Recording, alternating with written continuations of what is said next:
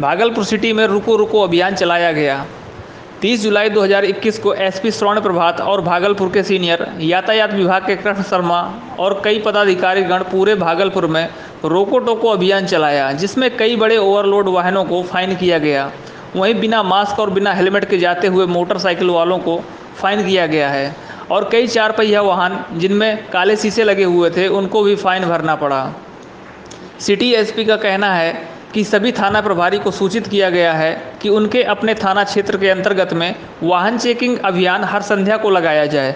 आज शाम गोरख का चौक पर, भागलपुर रेलवे स्टेशन पर, कचहरी पर और कोतवाली चौक इत्यादि जगह पर भी रुको रुको अभियान चलाया गया। भागलपुर बिहार से अली रजा की रिपोर्ट देखते रहिए आपका अपना चैनल, आंचलिक खबरें। अपनों की खबर आप तक ये रूटीन वाहन चेकिंग का ही अभियान है और हमारा मिशन निर्देश है कि हर काम में पुलिस थानाध्यक्ष स्वयं एस पी या डी एस पी आपराधिक दृष्टिकोण से वाहन का चेकिंग करें सर लोगों को क्या संदेश लोगों को सर क्या संदेश देना चाहते हैं आपने? लोगों को यही संदेश देना चाहते हैं कि जो भी ट्रैफ़िक का नियम है उसका अनुपालन करें हेलमेट पहने मास्क लगा कर चले अपने वाहन के कागजात को लेकर चले।